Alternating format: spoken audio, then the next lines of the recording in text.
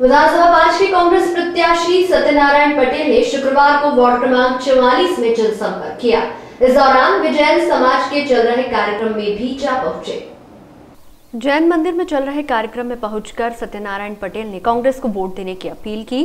वहीं क्षेत्र में होने वाली समस्या को जीत के बाद दूर करने की बात कही।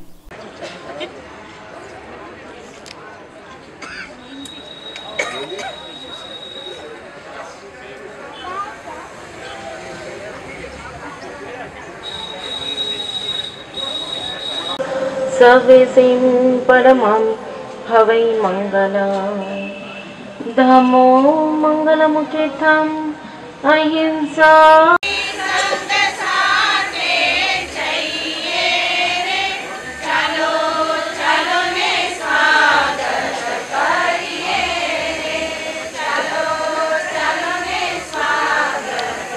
जनसंपर्क के दौरान पैदल यात्रा कर कांग्रेस प्रत्याशी रहवासियों से मिले। इस दौरान सैकड़ों समर्थक उनके साथ